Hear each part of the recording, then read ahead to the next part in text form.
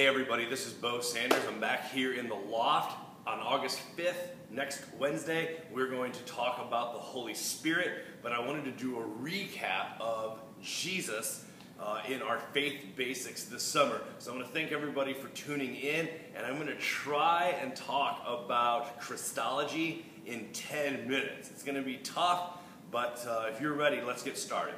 All right.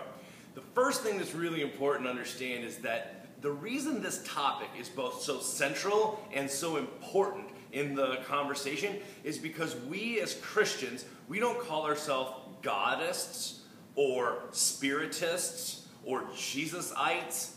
We're Christians.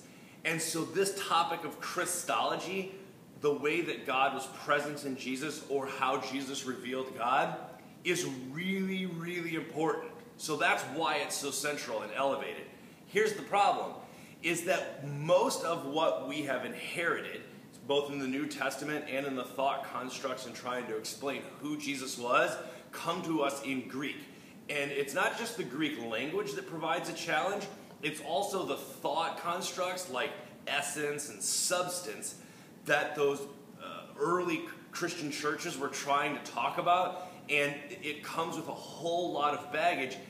But for us in the 21st century, post telescope, post microscope, we think about essence and substance and the cosmos very differently. And so when we try and embrace those old concepts, they don't always translate directly and they have to be really worked with. There's a lot of nuance to be understood. So I want to be really careful as we go through this, but I also want to be really specific about the things we're trying to say. So I've put up here these four splits because this is often what people are trying to navigate when they talk about Christology or Jesus being the Christ. So you have that split the Christ, and then you have the man Jesus. And the thing you have to understand is that the early churches worshiped Jesus as God. Last week we talked about how when Christians say God, that they're modified monotheists. They're, don't, they're not talking about God in the same way that Jewish people are or that Muslim people are.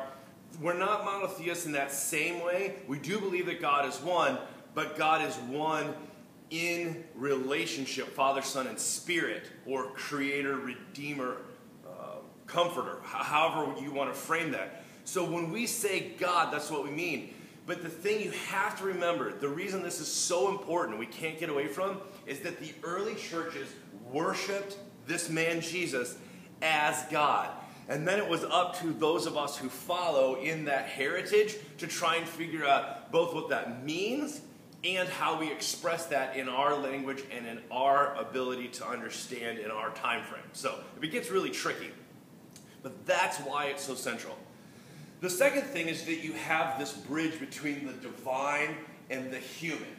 And so that is what they were trying to work through in those early creeds. Now, the creeds get a bad reputation both because of the, whether it was Platonism, Neoplatonism, whatever you want to say, the Greek philosophy that got brought in, or the power structures of who was there voting on how to frame this thing, or whether it was the Caesar stuff and the military, the hierarchy of the top down, the father, then the son, right? So all of that gets very complicated, but here's what you can't miss in all of that debate. What the creeds are trying to express is that, uh, if you, for instance, if you take the fourth gospel, the Gospel of John, that Jesus is the wisdom of God, or the Word of God, the Logos. And so you have this Logos Christology that, that something that abided eternally with God was made manifest in this man named Jesus. Now, you can go two different directions with this. Some people start in eternity and try and get it piercing into time, and then you have uh, the incarnation with Jesus and the, the, the conception, uh, and, and so you have this miraculous piercing of the eternal pierces time. So this is our third split. And they're, they're trying to figure out how that happened. But the other way you can do it is that you can say that in the, in the eternal presence, that Jesus abided in God, that he was elevated, some people say this, elevated into a place where he uh, communed with God in a unique and particular way. Uh, and so titles like the Son of Man and his heritage, the Son of God, uh, get used, which was like a Caesar term borrowed. But you have this term, the Logos. The, the word became flesh and dwelt among us. Another fun word is kenosis, we get from Philippians chapter 2. That in order for the divine to become human, uh, there had to be an emptying. So that's the kenosis, that uh, he emptied himself to become a servant of all humanity. So you can see why this is really complicated stuff. But what you can't get away from is that they worship Jesus in the early churches. The creeds tried to express that in the best frameworks they had uh, to work through. But what we're really trying uh, to figure out is that there's a fusing of horizons. So that you have out on the outer edge, you have this eternal or divine. You also have in this the embodiment of this man, Jesus, uh, something very incarnate, carnate meaning flesh. And so, uh, like carnivore comes from that same word. And you have a, a fusing of horizons. One of the reasons you have to have a fusing is because they are perceived to be very different things, and there's this gap between them. And so all of this language is trying to express that something unique happened in Jesus. And then you get to this fourth split, which is is Jesus being fully God and fully man, as Christians believe, does that make Jesus a different type of being or a different to a different degree? And that's actually a really fun debate. People get quite agitated and they finger point and call each other all sorts of names, but actually, it's the debate itself, the conversation, that I think is so helpful. And so, if people can do it in an ironic way instead of a polemic way, not arguing, but uh, comparing notes, I actually think there's a really fertile conversation that can grow out of that. So, was Jesus a different type of being? Or was Jesus a different degree of incarnation? And so I want to say these two things. A lot of people say a different type. So Jesus was almost a, a Superman Clark Kent character that even though he had a flesh suit, that uh, he could pull it off and do things like raise Lazarus from the dead or walk on water. So Jesus is kind of almost like a superhero character. We have to be really careful because when we start talking about that, we can get into a realm where Jesus was not fully human or really human, but just appeared to be. And the early churches said, no, no, no, no, that is unacceptable. But if we say that Jesus was just a different degree, and that uh, he somehow was like adopted as God's Son at his baptism when the Holy Spirit came, that something, there was some transactional thing that happened, you get into some really weird stuff about, say, modalism or some Gnostic stuff that we have to be really careful almost anything that people say as an analogy about how this worked. Um, you know, when we talk about Trinity stuff, about uh, fire uh, making water into uh, you know, ice, water, and um, gas, whatever. Any kind of thing you try and say, I've even heard about the hard boiled egg with the shell and the yolk everything we try and say, we are in danger of going into a place that the early churches said that is not what happened here. So it's a really vibrant conversation. What we can't get away from is this two things. Something special happened in Jesus. God was present with Jesus in a unique, I would say, particular way. Jesus was unique among humans in all of human history. So that's the first thing that God abided with Jesus in a unique way, in a way that constituted his very selfhood.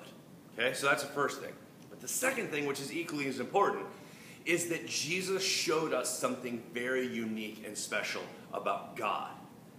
And it's those two things that you have to do a breathing in and a breathing out, that there's a healthiness that comes uh, from saying, both God was present in Jesus in a unique and particular way, and Jesus shows us something about God in a unique and particular way. So I want to close with this a question, actually, because I think in this case, the questions are far more interesting than the answers. So let me ask this Is it possible that Jesus was as faithful at being Jesus, at answering the call of God, at being open to the presence of God in Jesus' life as any other human being has been.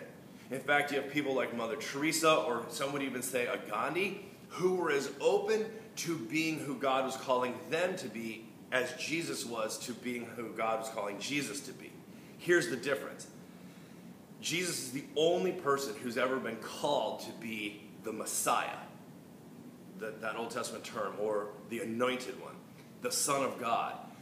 So, what we see in Jesus is a model where he's not different in type, but in degree, and was as open and faithful to his calling as, say, a Mother Teresa was to her calling. The difference between them and why Jesus is worthy of worship and why the Christian church is built around the centrality of God's presence in Jesus' life and who Jesus shows God to be is because he was called by God to be something very unique in human history. And that is why uh, he stands out and is, and is, in that sense, a different type of being. Not because of any of the other stuff that we've talked about, but because he was open to God in such a unique way, and that God called him to do something very unique, that he is a different type in that sense, but that we are supposed to follow Jesus' example and be open to God's calling in our life and to be willing to have the presence of God. Uh, we won't be constituted in the same way Jesus was, where uh, God constituted his entire selfhood, but that we are supposed to be open to what God is calling us to do in the same way that Jesus was open to what God was calling Jesus to do. It's an interesting question. All right, if this has been helpful, please uh, let me know. There's a comment section below. I'd love to hear back from you. Any concerns, any comments, any follow up questions. I'm enjoying doing these 10 minute videos. I thank you for the positive response and affirmation. And uh, I just want to say, may God bless you in Jesus' name.